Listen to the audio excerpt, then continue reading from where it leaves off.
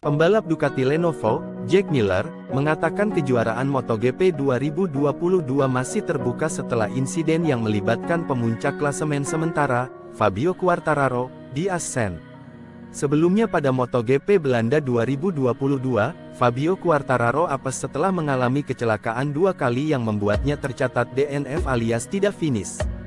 Hasil ini membuat Fabio Quartararo gagal mendulang poin untuk pertama kalinya pada MotoGP 2022. Akibat pembalap Prancis itu gagal mencetak poin, jaraknya dengan Alex Espargaro di peringkat kedua klasemen semakin menipis.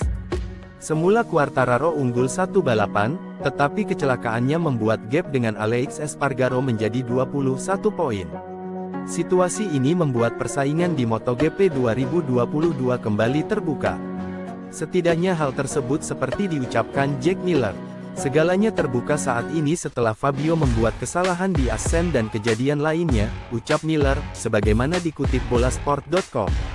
Kejuaraan masih panjang tahun ini dan banyak lintasan yang belum pernah kami lewati dalam dua tahun terakhir.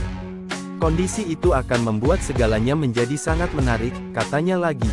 Setelah jeda liburan musim panas selesai, Balapan selanjutnya akan berlangsung pada MotoGP Inggris di sirkuit Silverstone, 6-8 Agustus mendatang. Fabio Quartararo mempunyai kenangan manis dalam balapan di Silverstone dengan meraih kemenangan tahun lalu. Sementara Alex Espargaro juga demikian. Bedanya dia meraih podium untuk pertama kalinya ketika membela Aprilia di Silverstone. Tentu akan menarik melihat duel Quartararo melawan Espargaro di sirkuit dengan panjang 5,9 km tersebut, di mana kedua pembalap sama-sama memetik hasil bagus tahun lalu.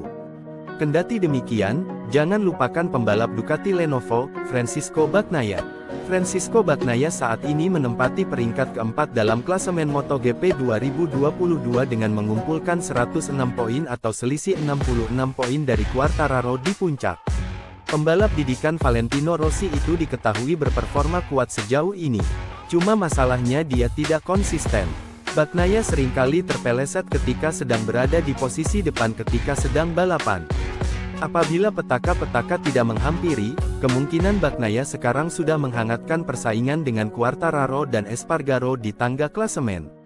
Peluang Bagnaia juga masih terbuka untuk mengganggu persaingan merebut gelar juara dunia MotoGP 2022 mengingat masih akan ada 9 balapan lagi.